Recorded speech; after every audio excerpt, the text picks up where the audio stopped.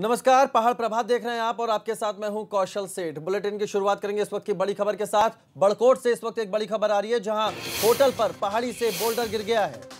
बड़ी खबर बड़कोट से आपको बता रहे हैं होटल पर पहाड़ी से बोल्डर गिरा है और बोल्डर गिर, गिरने से चार मंजिला ये होटल है जो क्षतिग्रस्त हो गया है। होटल की एक तरफ़ की छत और दीवार क्षतिग्रस्त हुई है बड़ी खबर आपको बता रहे हैं। बोल्डर गिरने से चार मंजिला होटल क्षतिग्रस्त हो गया है। बड़कोट की ये बड़ी खबर तस्वीरें भी हम आपको दिखा रहे हैं। बोल्डर देखिए वो पत्थर देखिए कितना बड़ा है जो इस चार मंजिला होटल पर गिरा है। इस बोल्डर की वजह से इस होटल की छत और दीवार क्षतिग्रस्त हुई है। बड़कोट की ये तस्वीरें हैं जहाँ होटल पर पहाड़ी से ये बोल्डर गिरा है। ये बड़ा सा पत्थर है चट्टान है जो इस होटल पर गिरी है। और इसकी वजह से इस होटल की छत और दीवार को नुकसान पहुँचा है। नितिन हमारे संवाददाता, इस खबर पर ज़्यादा जानकारी के साथ जुड़ गए हैं। नितिन, ये बड़ी घटना भी हो सकती थी, एक बड़ा हादसा भी हो सकता था। फ़िलहाल क्या कुछ जानकारी मिल पा रही है? क्या किसी तरह की रेस्क्यू टीम मौके पर पहुँची है?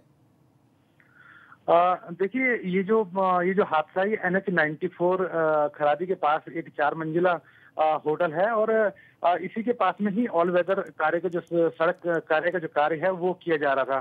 कि अचानक से जो पहाड़ी से जो एक बोल्डर है बोल्डर गिर जाता है और जो होटल है होटल का जो किनारे का जो हिस्सा है उसकी छत छत तोड़ते हुए नीचे का एक कमरा उसको क्षतिग्रस्त कर देता है। ये देखिए इसमें प्रशासन की टीम मौके पर पहुँची है। इसके साथ साथ जो ऑल वेदर की जो टीम है वो मौके पर पहुँची है। जो एनएच विभाग यानी कि जो राष्ट्रीय राजमार्ग विभाग है वो भी मौके पर पहुँचा है। लेकिन इसमें हम्म। एक गनीमत की बात ये रही कि जिस वक्त ये हादसा हुआ है ये ये एक अच्छी बात रही कि आवाजाही उस समय नहीं थी। अगर आवाजाही होती तो हम इस बात से भी इनकार नहीं कर सकते हैं कि जिस तरीके से बेहतर बेतरतीब तरीके से जो कटिंग कार्य में जो बोल्डर पहाड़ी से सड़कों पर गिर रहा है तो एक बड़ा हादसा भी इसमें हो सकता था कौन? जी बहुत शुक्रिया नितिन आपका तमाम जानकारी के लिए।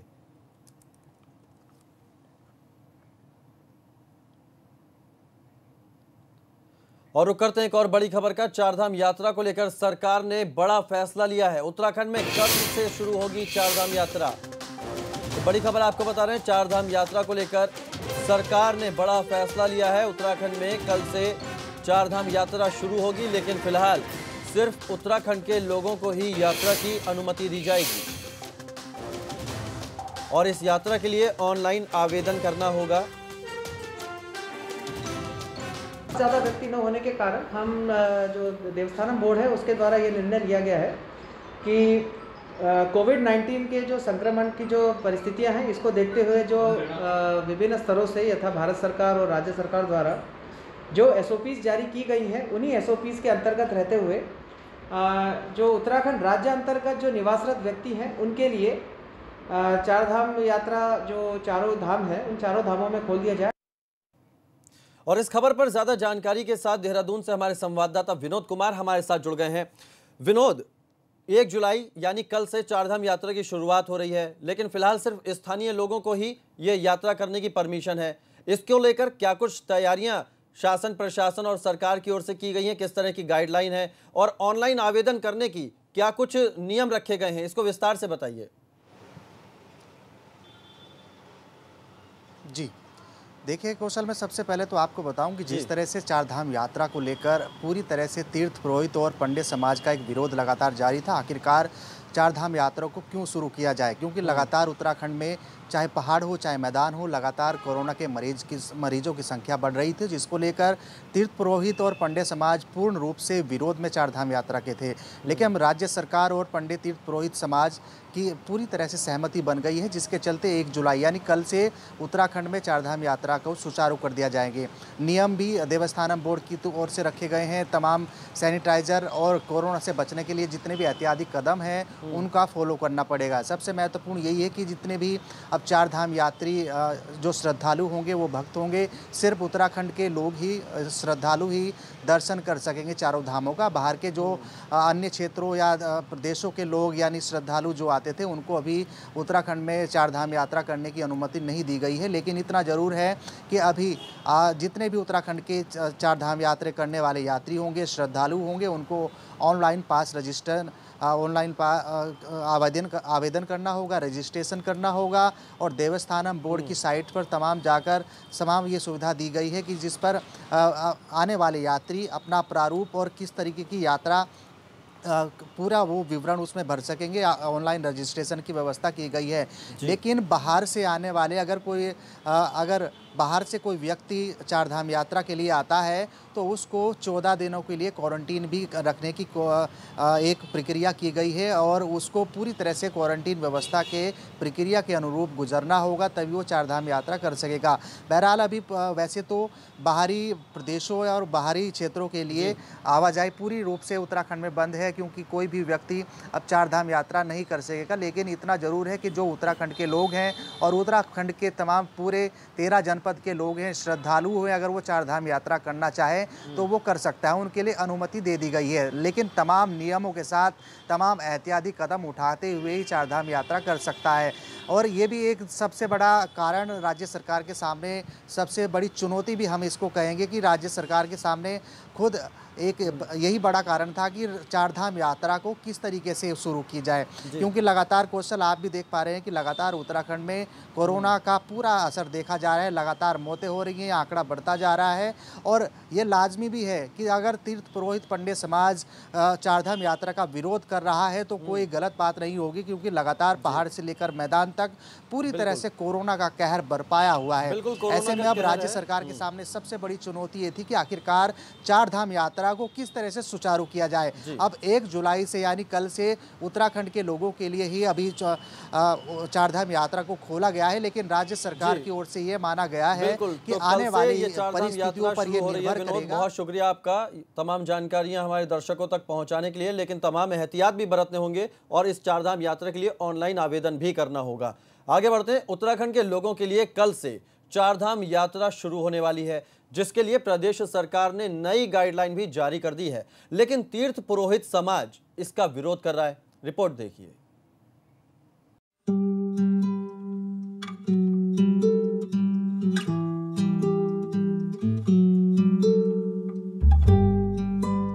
कोरोना संकट काल की वजह से बंद पड़ी उत्तराखंड की चार धाम यात्रा को फिर से शुरू करने का फैसला लिया गया है। सरकार की कोशिश है कि धार्मिक पर्यटन खासकर चार धाम यात्रा को शुरू कर एक अच्छा संदेश दिया जाए। आने वाले समय में जैसा हमारे जैसे राज्य, जहाँ पूरी आर्थिकी उनकी जो धार्मिक टूरिज़्म है जो हमारा सामान्य टूरिज़्म है, उस पर टिकी हुई है। तो जैसे ही हमें थोड़ी छूट मिलेगी, हम लोगों की पूरी तैयारी है, हम टूरिज़्म की स्थिति को, हम धार्मिक चार धाम यात्रा को लेकर, हरिद्वार को लेकर, ऋषिकेश को लेकर और जागेश्वर धाम को लेकर हम पूरी तैयारी के साथ जो गाइडलाइन होगी उसके अनुसार काम करेंगे। चार धाम यात्रा कई मायने में बेहद खास है। इन चारों तीर्थों से न सिर्फ़ लोगों की धार्मिक भावनाएँ जुड़ी है, बल्कि इससे पाँच लाख से ज़्यादा लोगों की रोजी रोटी भी जुड़ी हुई है। उधर तीर्थ पुरोहित समाज से जुड़े लोग अभी भी चार धाम यात्रा के संचालन के पक्ष में नहीं है। गंगोत्री धाम के तीर्थ पुरोहितों का कहना है कि वो देव स्थानम बोर्ड के हर फैसले का विरोध करेंगे। मेरा कहना है कि आप बिना कामों में व्यवस्था जुटाए हुए ना रेस्टोरेंट खुला है ना होटल खुला है और ना ही कोई दुकानें खुला है और ना ही आप आ, अपने गेस्ट हाउसों को खोल रहे हैं फिर भी आप लोगों को जो है एक रात्रि विश्राम का जो की अनुमति दे रहे हैं जो कि सरासर गलत है।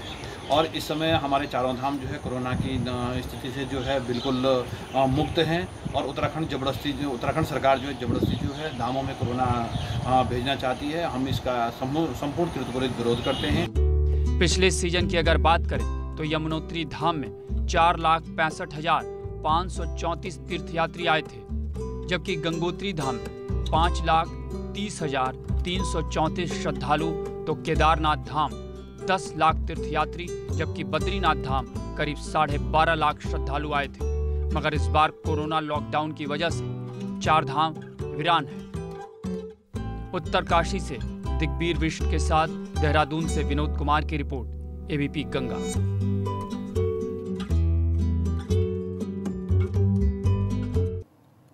पेट्रोल और डीजल के बढ़ते दाम और महँगाई को लेकर प्रदर्शन करने पर पूर्व सीएम हरीश रावत समेत कई कांग्रेसी नेताओं पर मुकदमा दर्ज कर लिया गया है। आपदा प्रबंधन अधिनियम के तहत ये मुकदमा दर्ज हुआ है। पुलिस ने कोविड 19 के नियमों का पालन नहीं करने और सोशल डिस्टेंसिंग का उल्लंघन करने को लेकर यह मुकदमा दर्ज किया है। आपको बता दें कि कल पूर्व सीएम हरीश रावत और कांग्रेस के कई नेताओं ने बैलगाड़ी पर बैठकर पेट्रोल और डीजल की बढ़ी कीमतों के खिलाफ प्रदर्शन किया था।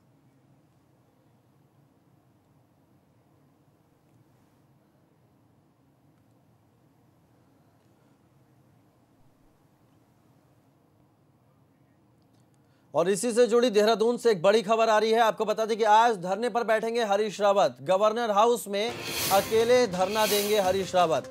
बड़ी खबर आपको बता रहे हैं, कल हरीश रावत पर मुकदमा दर्ज हुआ था। सोशल डिस्टेंसिंग के उल्लंघन पर एफआईआर हुई थी। कांग्रेस नेताओं के साथ हरीश रावत ने बैलगाड़ी पर प्रदर्शन किया था। तेल के बढ़ती कीमतों के विरोध में। और अब हरीश रावत पर यह मुकदमा दर्ज हुआ है जिसके विरोध में वो गवर्नर हाउस पर धरना देंगे अकेले ही। विनोद हमारे संवाददाता, इस खबर पर ज़्यादा जानकारी के साथ जुड़ गए विनोद, आज गवर्नर हाउस पर हरीश रावत धरना देंगे। कितने बजे ये धरना है और फ़िलहाल कब तक तैयारी है हरीश रावत के निकलने की? जी।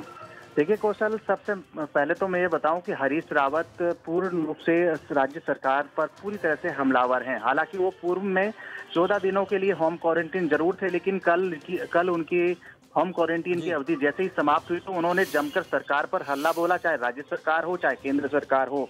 डीजल पेट्रोल की बढ़ती कीमतें महँगाई और खाद्यान्न की जैसे कीमतों में इजाफा हो रहा है उसके विरोध में कल उन्होंने बैलगाड़ी पर अपना विरोध जताया सैकड़ों समर्थक उनके साथ थे जिसके चलते तमाम कोरोना वायरस से बचने के लिए जितने भी एहतियाती कदम हैं उनका उल्लंघन वहाँ देखने को मिला जिसके चलते पुलिस प्रशासन की ओर से उन पर और उनके सहयोगी 20 लोगों पर 20 कार्यकर्ताओं पर मुकदमा दर्ज किया गया। उसके विरोध में आज राजभवन का एक कार्यक्रम उन्होंने रखा गया है सांकेतिक धरना देंगे राजभवन के बाहर ही अकेले बैठकर लेकिन अभी उसका समय निर्धारित नहीं किया गया है कि लगातार अब ऐसा भी माना जा रहा है कि जितनी भी धरने और प्रोटेस्ट तमाम संबंधी कार्यक्रमों की एक परमिशन की जारी की जाती है उनमें अभी परमिशन का एक संदेह बना हुआ है कि हरीश रावत को परमिशन ना दी जाए। जी। लेकिन अभी कार्यक्रम पूर्ण रूप से बना हुआ है लेकिन समय अभी निर्धारित नहीं किया गया है। लेकिन इतना ज़रूर है हरीश रावत का हल्ला बोल राज्य सरकार और केंद्र सरकार पर लगातार बना हुआ है। लेकिन इतनी थोड़ी सी बानगी ये अलग नज़र आती है कि जब कांग्रेस पार्टी हल्ला तो बोल रही है, लेकिन अलग अलग स्थानों पर धरना एक मुद्दे को लेकर किया जा रहा है तो गुटबाजी का असर भी कांग्रेस पार्टी में लगातार नज़र आ रहा है। बिल्कुल, बहुत शुक्रिया विनोद आपका, तमाम जानकारी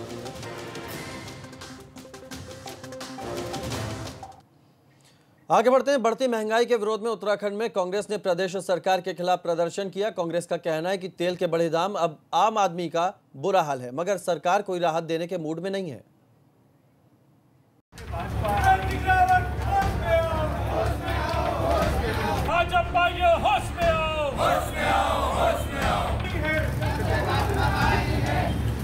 देहरादून में पूर्व सीएम हरीश रावत का ये धरना, बढ़ती महँगाई के खिलाफ।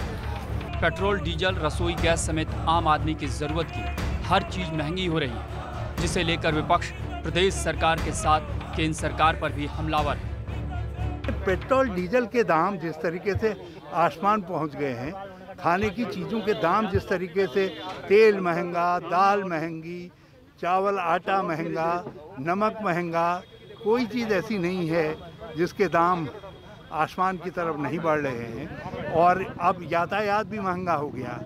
मतलब आपने दुगने कर दिए किराए। हरीश रावत उत्तराखंड में विपक्ष का बड़ा चेहरा है। साथ ही वो प्रदेश के मुख्यमंत्री भी रह चुके हैं। विपक्ष को लंबे समय के बाद सरकार को घेरने के लिए कोई मुद्दा हाथ लगा है। यही वजह है कि कांग्रेस इसे ज़ोर शोर से उठा रही है। ये भी प्रार्थना करने आया हूँ कि महँगाई बढ़ रही है और लोग परेशान हैं बेचारे। तो आप, ये महँगाई कम हो, इसके लिए भी केंद्र सरकार को सदबुद्धि दीजिए। उधर कांग्रेस प्रदेश अध्यक्ष प्रीतम सिंह भी पार्टी कार्यकर्ताओं के साथ धरने पर रहे। बढ़ती महँगाई को लेकर कांग्रेस कार्यकर्ताओं ने विरोध जताया।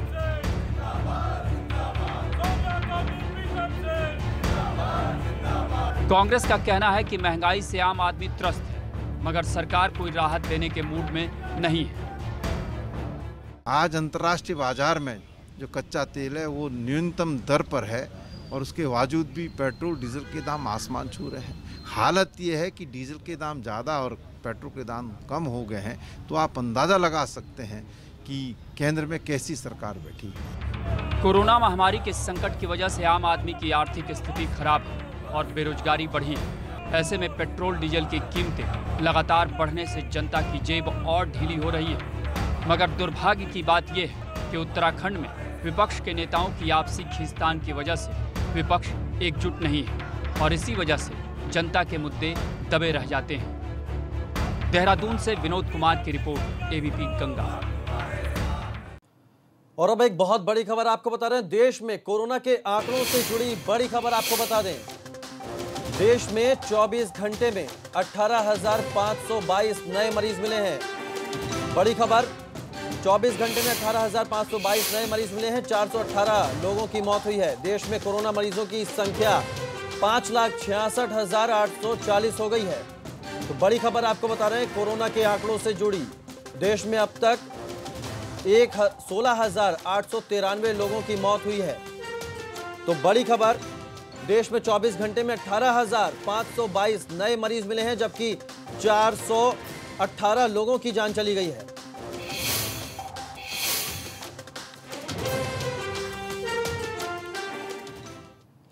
चीन के साथ लद्दाख में हुए विवाद को लेकर कांग्रेस सरकार से जवाब मांग रही है। देहरादून में कांग्रेस प्रदेश अध्यक्ष प्रीतम सिंह ने प्रेस कॉन्फ्रेंस की। कांग्रेस का कहना है कि सरकार को यह पूरी तरह से साफ़ करना चाहिए कि लद्दाख में वास्तव में हुआ क्या है।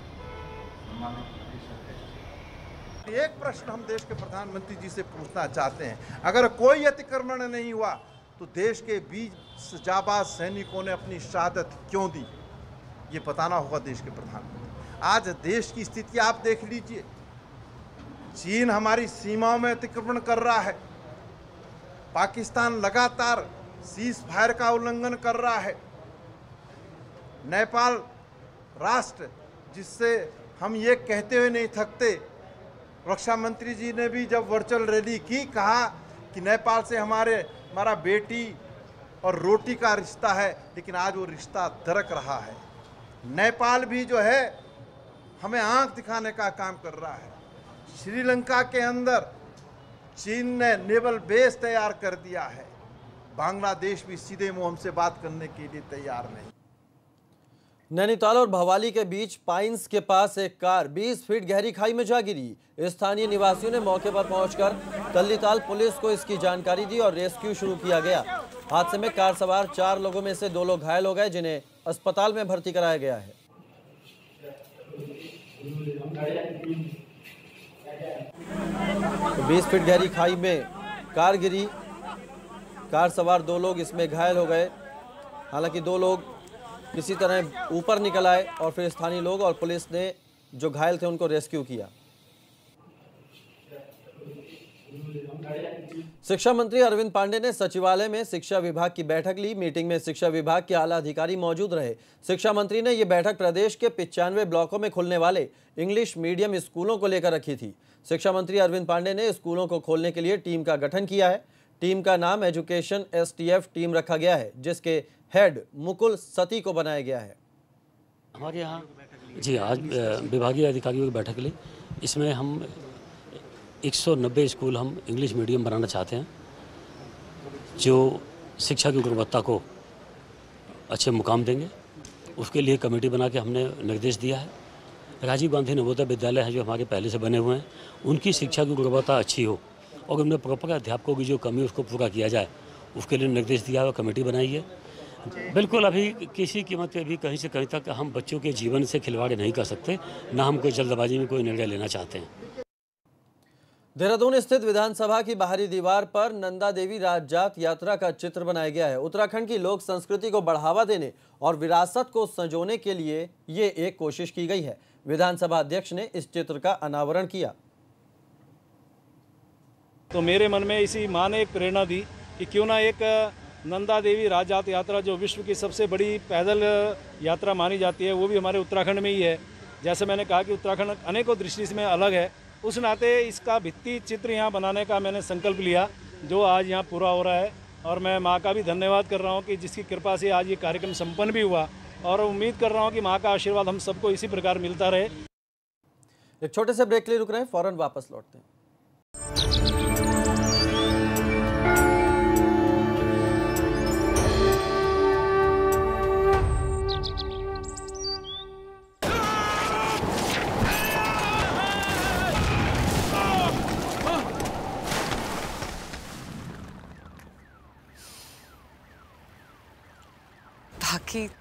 सब तो उड़ गया।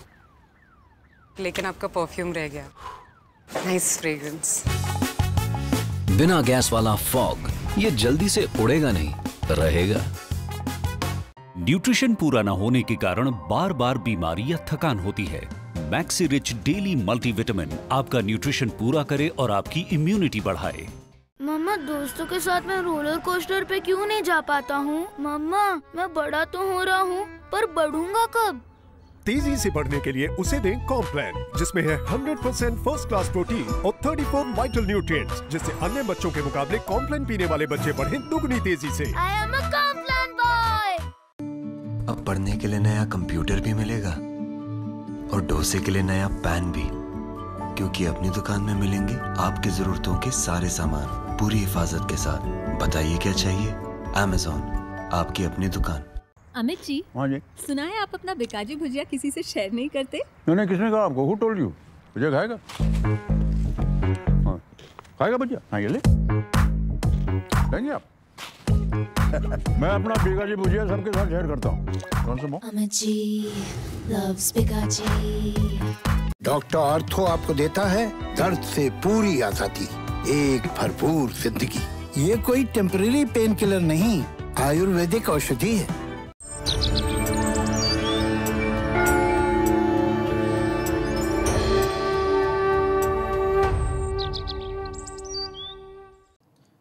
ब्रेक के बाद स्वागत है आपका। कोटद्वार में अवैध खनन की शिकायत पर राजस्व, सिंचाई और वन विभाग की टीम ने मिलकर छापेमारी की। सर्वे के दौरान प्रशासन की टीम ने खो नदी में मानकों के विपरीत खनन की पुष्टि की है। टीम का कहना है कि नदी कई जगहों पर चैनलाइजेशन कार्य में एक चौथाई भाग नहीं छोड़ा गया है। वहीं कई जगहों पर 20 से 22 फीट के गहरे गड्ढे कर दिए गए हैं, जहाँ बारिश होने पर जल जमाव होकर खतरा पैदा हो सकता है।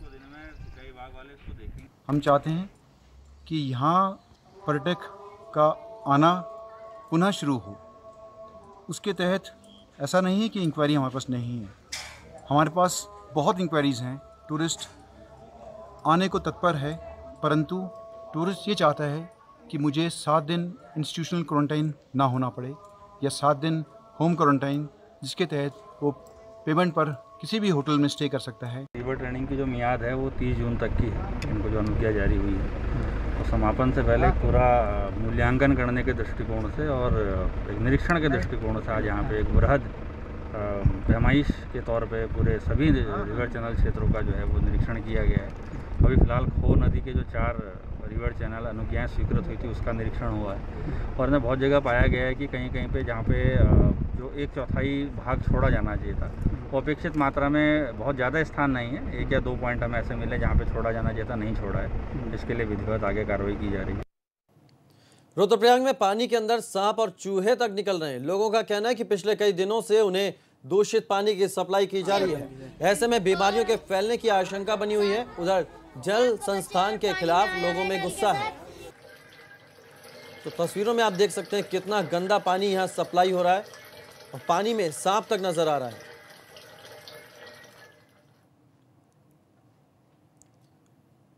उत्तराखंड की कुछ और खबरों का रुख करते हैं फटाफट अंदाज में। नैनीताल में पेट्रोल और डीजल की बड़ी कीमतों के खिलाफ कांग्रेस ने खुला मोर्चा, धरने पर बैठे कांग्रेसी नेता एसडीएम के ज़रिए राष्ट्रपति को भेजा ज्ञापन। महँगाई के विरोध में हल्द्वानी में भी कांग्रेस का धरना, कांग्रेस कार्यकर्ताओं ने राज्यपाल को ज्ञापन भेजा। हरिद्वार में कांग्रेस कार्यकर्ताओं ने किया प्रदर्शन, बढ़ती महँगाई को लेकर सरकार के खिलाफ हल्ला बोल। विकास नगर में सिंचाई के लिए पानी न मिलने को लेकर किसानों ने किया प्रदर्शन, नहर का पानी बंद कर नहर में ही बैठकर किया विरोध। जोशीमठ में कई घंटे बाद खुला बद्रीनाथ हाईवे, लांबगढ़ के पास हाईवे पर गिरा था मलबा।